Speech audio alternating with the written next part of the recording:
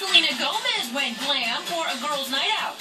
Justin Bieber was nowhere in sight as Selena showed some gorgeous leg while leaving Rockwell Table and Stage Dinner Theater with a few friends. Our source inside exclusively tells E! News Selena had a blast with about eight girlfriends.